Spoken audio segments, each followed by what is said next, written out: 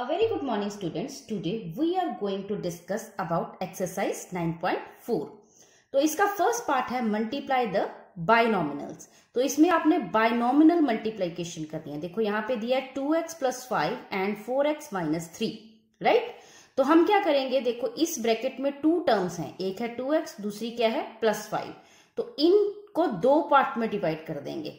पहले आ जाएगा to x, ये इस ब्रैकेट से मल्टीप्लाई होगा देन फिर आ जाएगा प्लस फाइव अगेन वो इसी ब्रैकेट से मल्टीप्लाई होगा राइट तो देखो ये बन गया two x bracket four x minus three plus five four x minus three. और ब्रैकेट दोनों टाइम जो है वो क्या रहेगी?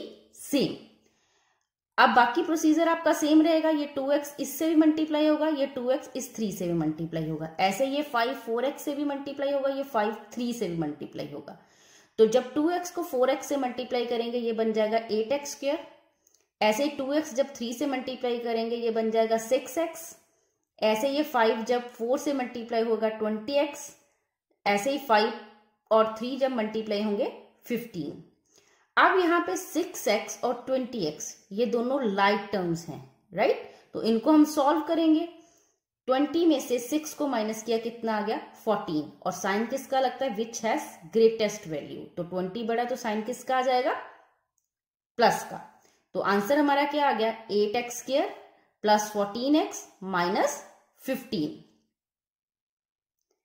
अभी इसका थर्ड सम देखो, यहाँ पे है 2.5 L minus zero point five M और दूसरी ब्रैकेट है हमारे पास 2.5 L plus zero point five M okay तो यहाँ पे ये टू टर्म्स कौन कौन सी बनी? एक तो बन गई 2.5 L और दूसरी बन गई minus zero point five M तो लेट स्टार्ट 2.5 L मल्टीप्लाई होगा 2.5 L से प्लस 0.5 M से राइट right?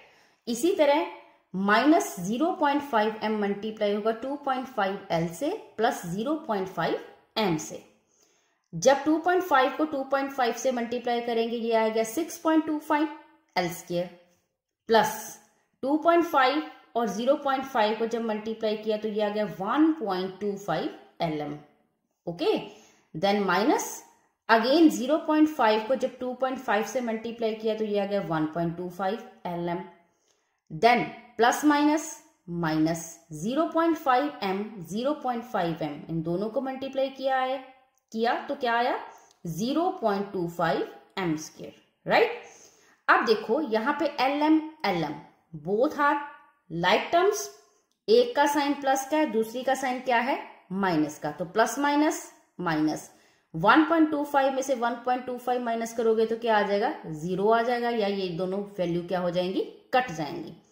तो आंसर क्या आ गया? 6.25 L square minus zero point two five M square इसी का फिफ्थ सम देखो।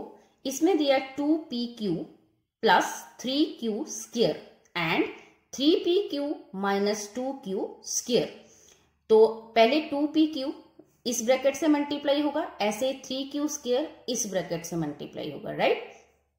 जब टू पी क्यू को थ्री पी क्यू से मल्टीप्लाई किया तो ये बन गया six P square Q square minus two two jar four P Q की पावर क्यू, क्योंकि यहाँ पे स्केयर है और यहाँ पे वन।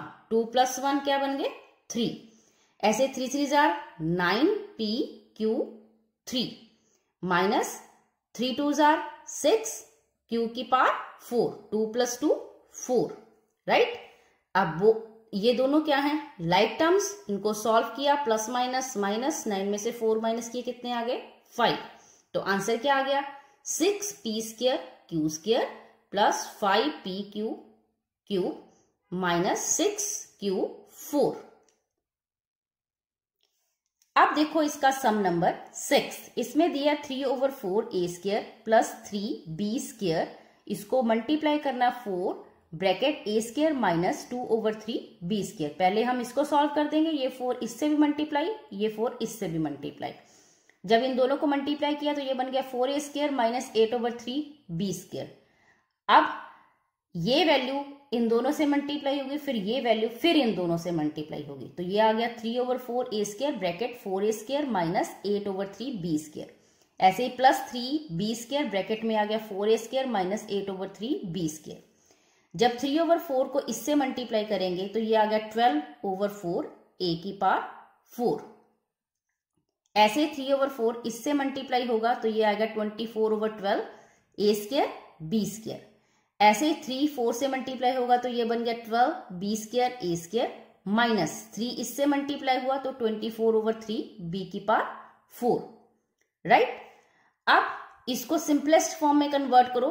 ट्वेल्व और फोर कट करके आ गया थ्री ऐसे ही ट्वेल्व के टेबल पे ट्वेंटी फोर आता है टू पे, ऐसे ही थ्री के टेबल पे ट्वेंटी फोर आता है एट पे।